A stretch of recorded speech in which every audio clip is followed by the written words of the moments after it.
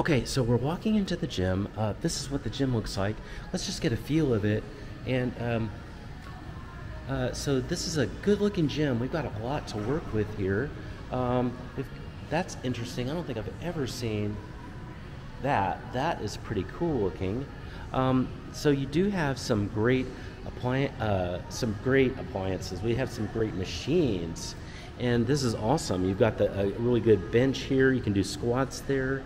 You do have some good free weights and kettlebells here with dumbbells ready to go. You need those for good arms, y'all. And then over here, oh my goodness, you've got, first of all, you've got great light all ready to go for you. You've got some spin cycles. That's awesome. And then you've got um, treadmills here too. And that's the new style treadmills. Those are becoming more and more popular. You, these, um, I'm told that these actually started out just for athletes. And then now I'm seeing them just slowly more and more in luxury apartments. So I love seeing those. Um, there's also some more equipment here, and and you've got uh, ellipticals or and then rowing machines, and then here's some more free weights.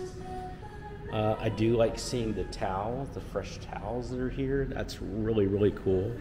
And then finally, there is also a nice studio room, so a separate studio room. Let's peek in that just real quick, just to see it. Here it is. This is what it looks like. Um, and if I close the door, by the way, it does get quiet in here in the studio room. So this is awesome. I love having a, it's always nice to have a private studio.